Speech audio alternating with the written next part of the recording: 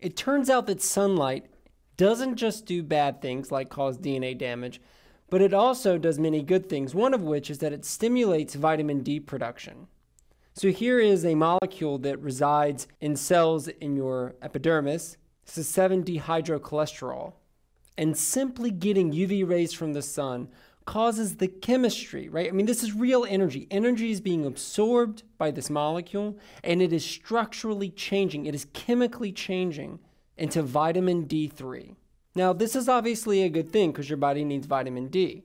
But the more melanin you produce, the more light it absorbs, and so the less UV light is available for this conversion process to vitamin D. So if you have too much melanin in regions with too little sunlight, then you're not going to get enough light to produce enough vitamin D. So as humans migrated away from the equator and into regions with less sunlight, the darker pigment prevented enough good sunlight from stimulating this vitamin D production. And as a result, there were some mutations that produced less melanin, and they were selected for to allow more sunlight back into the cells.